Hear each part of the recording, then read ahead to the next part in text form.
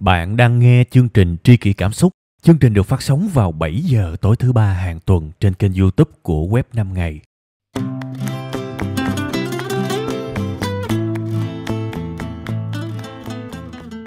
Rồi, rồi, alo bà con cô bác. Chào mừng tất cả quý vị và các bạn đã quay trở lại với à, một chương trình podcast có một cái tên rất là thân thuộc đó là Tri Kỳ Cảm Xúc. Và chủ đề của chúng ta bữa nay xin phép được dùng cái từ nó hơi tin xíu, nó hơi uh, dân giả xíu. Đó là ảo lòi. Chủ đề của chúng ta bữa nay rất là ảo lòi và tôi cũng chúc các bạn có một cái thành quả nó cũng ảo lòi như thế này luôn. Đó là chúng ta sẽ rèn luyện một cái thói quen rất là đơn giản. Chút xíu nữa các bạn sẽ thấy nó đơn giản. Tôi nói là đơn giản là đơn giản thiệt, không hề phức tạp. Một cái thói quen đơn giản để có thể triệt tận gốc một cái bệnh tạm gọi là bệnh lười biếng ha đương nhiên thì cái chữ bệnh ở đây là gọi vui thôi nha các bạn. Đừng nghĩ là bệnh nan y. Mình nghĩ nó vui thôi, nó giống như là bệnh ghẻ, bệnh lát bệnh ngứa, bệnh nhẹ nhẹ, chơi chơi, sổ mũi, cảm mạo này nọ thôi. Đừng nghĩ cái gì mà nó quá tiêu cực ha. Đó, cũng muốn nhắc chúng ta chút xíu. Tại vì ờ, chẳng ai muốn mang tới những cái điều u tối, những cái điều mà quá là thê thảm cho những tri kỷ của mình cả các bạn. Chương trình về cảm xúc, chương trình coi trọng cái tình thân, coi trọng cái sự tôn trọng mà các bạn chẳng bao giờ mà tôi muốn chủ đích mang tới những cái điều tiêu cực cho các bạn cả. Nếu có thì tôi rất là xin lỗi. Nếu thực sự lâu lâu có thì đó là sự vô tình của tôi thôi. Chứ mà bản chất của chương trình này thì không bao giờ tôi muốn mang tới cho các bạn những sự tiêu cực cả. Kể cả những ví dụ, đôi khi nó có cái màu tiêu cực, nhưng chốt lại luôn luôn là những sự tích cực. Các bạn để ý mà xem ha. Ok, bây giờ mình sẽ quay trở lại với ờ, chủ đề của chúng ta bữa nay. Thói quen đơn giản để chữa triệt để bệnh lười. Thì bây giờ nè, với bản thân tôi nha ở trên đời này đó các bạn nếu mà xét theo một cái thế giới mà mình luận về cái cái, tính lười biếng của con người đó thì tôi sẽ tạm phân loại là trên đời này có hai loại người các bạn. Một là người lười hai là người giả bộ không có lười đúng không? Để thử xem. Khẳng định luôn các bạn kể cả mấy cái người mà các bạn nhìn thấy siêng ơi là siêng thì cũng sẽ có lười thôi. Không lười cái này thì lười cái kia. Nên thành ra tôi cũng không muốn mọi người hiểu lầm là mình có cái phần trịch thượng hay là thượng đẳng. Khi mà nói cái chủ đề này, kiểu như là tôi là người siêng năng không có lười và tôi đang chỉ trích những người lười biếng thì không phải. Phải nhắc cho nó kỹ, tại vì nói thiệt, bây giờ các bạn cạo cái lưng của tôi ra chắc cũng mấy kia nhớt thiệt luôn á. Thiệt, tôi nghĩ là ai trong chúng ta cũng sẽ có những cái lười thôi. Nhưng mà điều quan trọng là lười nó cũng có lười dis và lười dat đúng không? Sẽ có những người lười vẫn có, nhưng những gì họ cần hoàn thành, họ vẫn hoàn thành thì khi mà nhìn vào cái kết quả hoàn thành của người ta thì mình bảo, u, anh này thật bản lĩnh, anh này thật siêng năng. Anh này chắc không lười đâu. No, anh này có lười đó. Nhưng điều quan trọng là cách ứng xử với cái sự lười biếng, chứ không phải là trong căn nguyên anh ta không có sự lười. Thế thì tôi rất là muốn hướng các bạn tới một cái kiểu lười lành mạnh như vậy. Và chúng ta làm được điều đó khẳng định luôn với một thói quen. Cái thói quen này sẽ giúp các bạn vẫn hoàn thành được những việc cần làm, kể cả trong lúc không hề có một cái chút động lực nào từ những cái việc nhỏ giống như là rửa chén quét nhà, đến những cái việc tốt giống như tập thể dục, chạy bộ, thể thao, đọc sách, đến những cái việc lớn hơn giống như là sự nghiệp, giống như là gia đình abc ai trong chúng ta cũng có những cái lười bao hàm từ nhỏ tới lớn các bạn. Thì cái thói quen này sẽ giúp chúng ta vẫn hoàn thành những gì cần làm. Nói theo kiểu vui vui là lười thì lười mà làm thì làm. Đó chẳng phải là cái mong muốn của tất cả chúng ta hay sao? Đúng không? Hấp dẫn ha, hấp dẫn. Thế thì, vào thẳng luôn. Đây là cách cái thói quen mà chúng ta cần xây dựng nó đơn giản không tưởng luôn. Đó là hễ rảnh các bạn hãy thì thầm với chính bản thân mình đó, cái câu này cho tôi. Bạn hỏi chính mình đó, bây giờ nè mình làm cái gì mà nó tốt nhất cho cuộc đời của mình? Rất đơn giản. Đương nhiên nhiều người nghe cái này hơi bệnh hơi dội á hơi cảm thấy thất vọng á. Kiểu cái thói quen này nghe xàm xí đú tâm linh kiểu như là ba cái vớ vẩn chỉ tay lên đầu. Thì từ từ tôi sẽ giải thích cho các bạn nghe. Và nó có căn cứ khoa học luôn đó chứ không phải là nó suông đâu nhưng mà bây giờ là tôi nhắc kỹ là chút xíu về cái thói quen. Hễ rảnh, làm ơn, nhắc bản thân mình, hỏi bản thân mình cái câu này. Hiện tại bây giờ nè, mình nên làm cái gì để mà cái hành động đó tốt nhất cho cuộc đời của mình? À và nhớ giùm tôi cái điều này. Chỉ cần bạn tạo được cái thói quen này thôi. Bạn không cần quan tâm tới cái việc bạn còn lười hay không. Vì khi mà cái thói quen này nó mạnh hơn á, nó trở thành một cái phần trong cuộc sống của bạn á, cái sự lười biếng nó sẽ biến mất dần dần hay nói đúng hơn là cái sự phản ứng với cái lười, cái sự phản ứng với cái việc không có động lực làm chuyện này chuyện kia, nó sẽ rất mạnh mẽ mạnh mẽ hơn nhiều. Và chúng ta gọi đó là ý chí, chúng ta gọi đó là bản lĩnh vượt qua, hay là chúng ta gọi bằng một cái từ khác là chữa được cái sự lười biếng. Ha, một câu hỏi đơn giản thôi. Thế thì bây giờ tôi sẽ giải thích tại sao cái việc rất đơn giản là hỏi bản thân mình trong những lúc rảnh rỗi một cái câu rất đơn giản là hiện tại ngay bây giờ tôi làm cái gì là tốt nhất cho cuộc sống của tôi, để cuộc đời tôi tốt nhất. Tại sao một câu hỏi đơn giản như thế này? Nó lại giúp ích cho cuộc sống của chúng ta. Thì bây giờ tôi giải thích cho các bạn trước. Tại vì các bạn sẽ chẳng bao giờ làm chuyện này chuyện kia nếu các bạn không hiểu tại sao các bạn cần làm chuyện đó, đúng không? Nên phải giải thích thôi. Bây giờ nói trước về khoa học. Cái việc mình hỏi, mình liên tục cái câu hỏi đó đó là một cái cách rất là tuyệt vời để rèn luyện một cái vùng não ở phía trước trán của các bạn á. Nó nằm ở bên trái, trước trán á và cái vùng não này nó phụ trách những cái nhiệm vụ về đam mê, về nhắc nhở bản thân về mục tiêu, về ước mơ. Mà các bạn biết mà, gần đây khoa học đã chứng minh rất là nhiều về cái việc não bộ của chúng ta đó. Bạn càng luyện nó thì nó càng ngày càng dữ dội, càng ngày càng xuất sắc, giống như là cơ bắp vậy đó.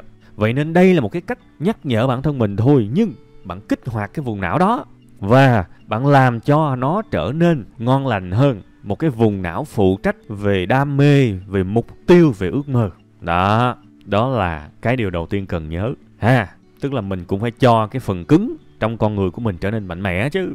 Thì một cái sự nhắc nhở bình thường đó thôi, nó làm cho cái vùng đó nó được kích hoạt. Thì thực ra cái này, cơ chế nó cũng giống như học bài thôi các bạn.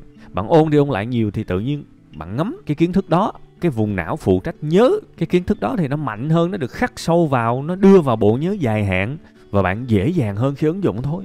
Đơn giản thế thôi, đúng không? Thế thì làm ơn nhớ nhắc nhở bản thân mình, hỏi bản thân mình một cái câu đơn giản đó thôi là một cái cách bạn giúp cái não của các bạn trở thành đồng minh của các bạn trong cái việc thực hiện ước mơ, thực hiện những hành động các bạn cần phải làm và loại bỏ đi những thứ, những cái thói quen, những xấu nó đang có trong cuộc sống của các bạn. Chỉ toàn thấy lợi thôi ha. Cái lợi ích thứ hai của cái việc hỏi mình cái câu rất đơn giản là bây giờ, thời điểm hiện tại mình nên làm cái gì tốt nhất cho đời mình đó nó sẽ có một cái lợi ích về động lực sâu thẳm bên trong. Thực ra khi các bạn lười á cái từ lười á, nó hơi mông lung, nó hơi chung chung. Khi mà bản thân tôi lười á, tôi và tôi quan sát cái sự lười của mình á, thì hóa ra đó, không hẳn là tôi làm biến đâu, mà là tôi không có đủ động lực ở bên trong á, để làm cái việc này, việc kia.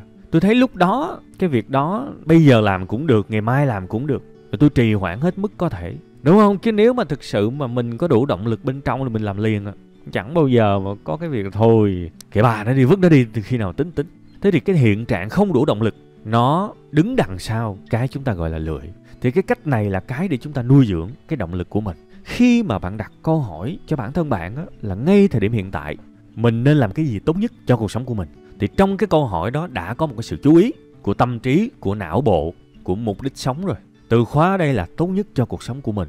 Giống như não của bạn bắt đầu nó quét toàn bộ mọi sự kiện mọi thứ diễn ra trong cuộc sống của bạn. Và nó gom lại hết tất cả những thứ mà nó có thể liệt kê ra miễn là cái đó tốt nhất cho cuộc sống của bạn. Nó đưa bạn về cái trạng thái sống có mục đích, đưa bạn về cái trạng thái biết rằng đời mình có cái việc gì quan trọng, đời mình có cái việc gì cần ưu tiên, và cái việc truy cập vô những cái điều ưu tiên, những cái điều quan trọng trong cuộc sống của bạn là một cái cách nó ôn lại một cách tích cực những ưu tiên, những điều quan trọng, những điều tuyệt vời trong cuộc đời của bạn và nói một cách quịch tẹt ra là bạn đang nuôi dưỡng, bạn đang chăm sóc cái mục đích sống của bạn. Và khi mà bạn có một cái mục đích sống, bạn kết nối được cái điều quan trọng trong cuộc sống của bạn. Và đó là cái nội lực để bạn có thể làm việc ngay cả khi lúc đó bạn không muốn. Và đó chính xác là cái cách mà những người mà các bạn cho rằng họ siêng năng, sao họ vẫn có thể làm việc được? Vì rất đơn giản, bên trong họ lúc nào cũng rõ mùng một mục đích sống. Bên trong họ lúc nào cũng rõ mùng một điều gì là quan trọng. Và họ có thể lôi đầu họ thức dậy mỗi ngày thậm chí là dậy sớm để làm những gì cần làm. Họ, những người đó đâu có phải là họ không có thích ngủ nướng đâu các bạn. Đâu có phải họ không, không mê ngủ đâu. Đâu phải là họ không thích chơi bời ở không đâu. Họ thích hết á. Nhưng bên trong họ động lực lý do rất là đủ mạnh. Có thể lúc đầu họ cũng chẳng có đủ động lực lý do đâu nhưng họ nghĩ thật nhiều về nó. Thì cái đầu của mình nó hay lắm. Nó cứ đi gom những điều quan trọng nó cứ đi gom mục đích sống nó cứ đi gom những lý tưởng này nọ. Rồi một ngày những thứ đó trở nên cực mạnh và rồi bạn có một cái gọi là nỗ lực. Ha, và khi mà nội lực bạn mạnh thì bạn không có để bị những cái thứ sao nhãn nó lôi cuốn vậy thôi. À đó là hai lý do chủ đạo. Một cái lý do về mặt não bộ, một cái lý do về mặt nuôi dưỡng ý chí của cái việc đơn giản hỏi bản thân mình mỗi ngày. Hễ lúc nào rảnh là hỏi. Và đương nhiên, khi mà bạn đã đặt câu hỏi rồi thì não của bạn nó sẽ trả lời. Bây giờ bạn muốn không trả lời cũng không được. Đó là cái hay của não. Có câu hỏi là nó sẽ muốn trả lời. Thì bây giờ đơn giản thôi các bạn. Chỉ cần, ví dụ, ngủ trưa đi nằm úp mặt xuống bàn, đặt câu hỏi này nằm liêm diêm liêm diêm. Đừng quan tâm là mình có câu trả lời hay không, vì nó sẽ tự chạy thôi, nó sẽ tự kết nối thôi. Và rồi, tự nhiên câu trả lời nó mò tới rồi các bạn. Cuộc sống này một trong những cái thứ rất quan trọng là phải biết đặt câu hỏi, vì không đặt câu hỏi lấy đâu ra ra câu trả lời. Đúng không? Bây giờ bạn đã biết được tên của phương pháp, bạn đã biết được tại sao phương pháp này lại có lợi ích, lại có ý nghĩa, đúng không? Thì tiếp theo mình sẽ vô cái phần áp dụng ha. Thì bây giờ áp dụng rất đơn giản thôi cho dù bạn là ai, bạn làm nghề gì không quan trọng. Dễ nhất nha, là bạn hãy kiếm những cái khung giờ cố định bạn có một chút thời gian 5 phút 10 phút thôi. Tại vì suy nghĩ lâu nhức đầu lắm. Cái tôi muốn các bạn là xây dựng một cái thói quen để các bạn có thể suy nghĩ mỗi ngày. Chứ không phải là cho nó trở thành một cái nhiệm vụ nặng nề rồi bắt đầu mình ngán nó thì thôi, bỏ đi. dễ nhất là gắn nó với những cái bữa ăn. Ví dụ sau bữa ăn sáng uống cà phê lại đặt câu hỏi này. Sau bữa ăn trưa hãy đặt câu hỏi này và sau bữa ăn chiều, ăn tối gì đó rảnh rảnh, thời gian chút xíu ngồi cho nó tiêu cơm này nọ, hãy nghĩ câu hỏi này, nó rất quan trọng. Ví dụ thật chi tiết hơn nữa. Thí dụ, bây giờ đặt cái ngữ cảnh đi bạn là một nhân viên văn phòng và bạn chán việc lắm rồi. Cái tình trạng rất nhiều người gặp hiện tại đúng không? Muốn nghỉ việc lắm rồi. Nhưng mỗi ngày vẫn phải lết xác đi làm tại vì sao? Tại vì chén cơm thôi, chứ ham hố gì đâu. Bây giờ nghỉ thì đói. Bây giờ công việc thì có thể nghỉ được, nhưng mà tiền nhà nó đâu có nghỉ cho mình. Chi tiêu nó đâu có nghỉ cho mình tiền cơm, tiền ăn nó đâu có nghĩ cho mình. Thậm chí có nhiều ông ờ, còn rất trẻ luôn á, mà bị dính vào rất là nhiều cái tín dụng. Thì cái tiền lãi, tiền thẻ tín dụng, tiền vay trả góp này nọ nó đâu có nghĩ đúng không? Nên phải lết xác đi làm. Và tôi rất là thông cảm cho những cái sự stress của các bạn. Nhiều người mặc câu có, dữ dội, bực bội lắm. Có thể nguyên nhân là từ những cái này đó. Thế thì bây giờ áp dụng đi. Ha, áp dụng. Sáng ăn sáng xong uống ly cà phê ở một cái quán cốc nào đó thôi. Ly cà phê hai chục ngàn thôi, cho tiết kiệm thôi, đúng không? Thì khi mà nhấp một ngụm cà phê đầu tiên thì đặt câu hỏi dùm cái, bây giờ nè, mình làm cái gì tốt nhất cho đời mình ta? Ha, và nhớ dùm cái giai đoạn đầu hãy duy trì thói quen này thôi. Còn cái việc lười hay không lười, có động lực làm những chuyện quan trọng cho cuộc sống của mình hay không thì kệ bà đi, đừng quan tâm, là một thứ thôi. Duy trì thói quen này, đảm bảo cuối cùng hết những cái sự lười biếng nó sẽ đi qua. Hãy nghĩ trở về cái hoàn cảnh này, các bạn một cái người mà chán việc tới nơi rồi, chán lắm rồi. Thì tôi hỏi các bạn, họ có động lực để họ làm việc không? Không, họ đang ở trong đỉnh cao của sự lười biếng đó. Tuy rằng mình cắt ra mình sẽ thấy là họ quá nhiều sự bất mãn, nhiều hơn là sự lười biếng, nhưng lười vẫn lười thôi và có thể là đồng nghiệp, có thể là sếp đánh giá họ không nhiệt tình lười biếng, đúng không? Chạy đâu mà khỏi. Thế thì mình là cái người như vậy đi. Ví dụ vậy, đóng vai như vậy thì mình đặt câu hỏi. Và cái câu hỏi này nó kích hoạt não bộ mình dữ dội lắm các bạn. Nó bật cái máy quét lên và nó tìm tất cả những điều quan trọng ưu tiên trong cuộc sống của cái người này hiện tại. Thế thì nó sẽ mò ra là cái điều quan trọng nhất của mày thời điểm hiện tại là mày phải có một công việc mới mà mày yêu thích hơn. Chứ nếu không, thì mày sẽ chết dần, chết mòn ở cái nơi này. Tạm thời là nó chỉ trả lời được cái câu hỏi đó thôi. Và đương nhiên một khi nó đã trả lời rồi thì nó sẽ có khuynh hướng nó đi xa hơn. Và biết đâu đấy, nó kích hoạt được một cái giải pháp. Ví dụ như là, không, mình phải kiếm việc mới thôi. Nhưng mà bây giờ lấy đâu ra thời gian kiếm việc mới? Sáng nay mình phải siêng lên, mình làm việc để mình xong sớm, để tầm 11 giờ mình dành thời gian đó để đi tìm việc mình không chịu nổi cái nơi này nữa rồi mình phải thoát ra khỏi công ty này. Phải chạy thôi. Ở đây làm riết chắc mình trở thành một cái người câu có xấu xí nổi mụn quá thí dụ vậy. Ok đã có một cái hoạt động. Và đúng như vậy thật khi bạn đã đặt câu hỏi khi bạn đã trả lời rất có thể bạn bước vào văn phòng của bạn bạn sẽ làm việc với một cái thái độ khác. Và đây có thể là một cái thái độ không lười biếng. Thử xem xem đúng không? Đương nhiên đó là mới buổi sáng thôi bây giờ buổi trưa đi. Buổi trưa mình à, ăn cơm xong rồi bắt đầu mình gục đầu trên bàn mình làm giấc ngủ trưa ngắn 10 15 phút 20 phút gì đó. Mình lại đặt câu hỏi này hiện tại mình à, nên làm cái gì? Tính từ giờ trưa này mình nên làm gì tốt nhất cho cuộc đời của mình? Rất có thể là sao? Sáng tầm 11 giờ mình đã tìm cái việc rồi và mình chợt nhận ra là nó bấp bênh quá. Cảm thấy không có tự tin á mình đọc những cái à, job description những cái mô tả công việc mình đọc xong mình thấy không tự tin ta bây giờ mà mình xin nghỉ bên đây, chắc gì mình nộp cái cv qua công ty mới mà mình được nhận liền.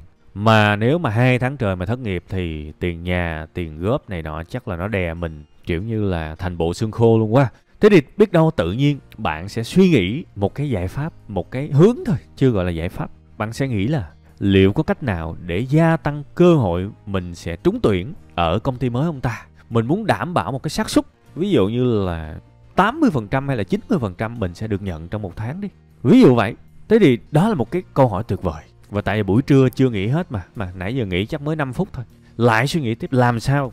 Làm sao để nâng cái xác suất nghỉ việc và có việc mới ngay lập tức? Tôi biết đâu đấy lại nghĩ ra cái việc, không, mình phải nghiên cứu job description. Mình phải nghiên cứu cái mô tả công việc của người ta. Người ta gạch một cái gạch đầu dòng thì mình phải đáp ứng được cái gạch đầu dòng đó thì bây giờ đơn giản thôi, bây giờ đi xin việc người ta liệt kê ra 10 điều và bạn đáp ứng tốt 10 điều thì người ta nhận bạn thôi. Cái game này nó chỉ có như vậy. Thế thì bây giờ mình đã có một cái plan rồi, có một cái kế hoạch rồi. Những ngày tiếp theo, mình sẽ tải, sẽ copy cái mô tả công việc của ba công ty mà mình thích nhất và mình sẽ tìm cách để lấy từng cái yêu cầu của họ ra và đáp ứng từng cái luôn. Và mình chỉ nộp đơn khi mà mình đã có một cái CV mô tả và đáp ứng hết tất cả những gì họ cần. Đương nhiên mình có thể không tự tin thì bắt đầu mình có thể tham khảo thông tin từ YouTube, cách xin việc thành công, cách viết CV hay này nọ ABC.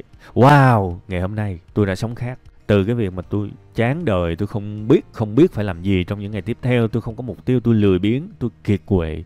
Thì hôm nay tôi đã có một cái cánh cửa mở rộng, tôi không biết là có thành công hay không. Nhưng mà tôi đã sống một cách rất khác và ít ra là có cơ hội cho tôi biết ngày mai tôi biết cần làm cái gì và rất có thể ngày mai khi uống cà phê sáng thì tôi đặt câu hỏi tiếp để biết đâu đấy. Tôi lại hoàn thành tiếp theo những gì mà tôi đang dở dang trong ngày hôm nay và tôi đã sống một cuộc đời mà nó có định hướng hơn nó, nó tử tế hơn nó rõ ràng hơn chứ không phải là trôi dạt giống như cây bèo cây lục bình ở trên dòng đời này. Rồi bây giờ mình qua buổi tối nghe coi. Giả sử bạn có gia đình rồi đi ha. Chiều chiều ăn cơm xong đi. Trước khi rửa chén ngồi lên ghế sofa thay vì bấm điện thoại thay vì ờ, xem tivi thì bắt đầu mình trầm ngâm xíu. Mình hỏi coi hiện tại lúc này mình làm cái gì mà tốt nhất cho cuộc sống của mình? Biết đâu lúc đó mình giật mình mình nhớ lại à chết cha rồi. Hình như lâu lắm rồi mình không có hỏi con mình là nay nó đi học có vui hay không mà mình toàn hỏi nó nay con học có mấy điểm mà. Ồ oh, rùng mình rùng mình. Tại vì xưa giờ sống theo chế độ lái tự động mà chế độ tự động mà chẳng bao giờ đặt câu hỏi nên chẳng bao giờ để ý tới những cái việc mà có thể mình đang làm sai mình đang làm không tốt á bắt đầu. Chỉ một câu hỏi đơn giản đó thôi, bắt đầu hớt hớn hải. Hỏi con mình, con nay học vui không? Con có áp lực gì không? Con có muốn đi thả diều không? Con muốn đi chơi không? Dắt đi. Tối nay tối nay mình ngưng học bài bữa đi, hoặc là hứa với nó, thứ sáu đi. Thứ sáu dắt đi chơi ví dụ vậy đó là cách mà chúng ta làm tốt những nhiệm vụ mà một cái lối sống vô tâm, một cái lối sống không suy nghĩ, không đặt câu hỏi thường trực, nó làm cho chúng ta giống như bị ru ngủ giữa dòng đời này vậy. Thì mình phải đánh thức liên tục bằng những câu hỏi đó. Và à há cho nó phải à há lên cho nó vui, cho nó hip hop. Nãy giờ tôi đã cố tình đưa bạn ra khỏi cái chủ đề bệnh lười trong cái tập bữa nay đó các bạn. Tôi đưa bạn vào cái rộng hơn, được gọi là sống tỉnh thức. Mặc dù là chủ đề là tôi muốn hướng các bạn tới cái sự lười biếng. Tôi muốn cho các bạn những động cơ để hoàn thành những việc mà các bạn không có một sự hứng thú nào để làm. Nhưng mà cái điều quan trọng nhất của phương pháp này, đó là dắt các bạn sống một cách thực sự tỉnh thức trong cuộc đời này. Mình phải là một cái người chèo thuyền, có cái mái chèo đàng hoàng tôi muốn chèo về hướng đông thì tôi chèo hướng đông, tôi muốn chèo về hướng tây thì tôi chèo. Tôi biết nó đang đi đâu và tôi tôi tôi chỉ tới đó khi mà tôi, chủ đích tôi muốn thôi, chứ không phải là ngồi mơ, ru ngủ trên con thuyền và để gió nó đưa tới đâu thì đưa. Thì biết đâu đấy mà mình đưa, mình để gió mà nó thổi mình tới nơi mà mình không có định trước nhiều khi mở mắt ra lại thấy trước mặt mình là một dòng thác, thì có thể là cái thuyền của mình nó lật xuống cái thác luôn á, mình không biết số phận mình sao, đúng không? Vậy nên rất đơn giản các bạn, một thói quen hãy nuôi cái thói quen này. Có thể nhắc nhở bản thân mình bằng bằng báo thức, bằng bằng những cái ờ, reminder, gọi là là gì ta, quên rồi. Ừ nhắc nhở bằng màn hình điện thoại, bằng cái gì cũng được, bằng những cái sticky note, bằng những cái thông báo, bằng cái gì cũng được.